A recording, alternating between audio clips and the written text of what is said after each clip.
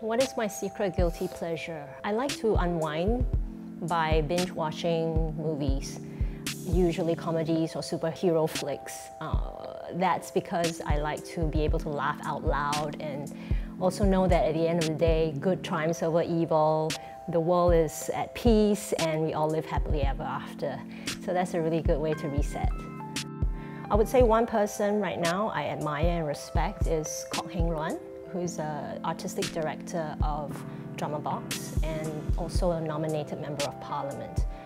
He's a person who is a gentle soul but has great inner strength because he listens deeply and he values the contribution of, of every person at the table.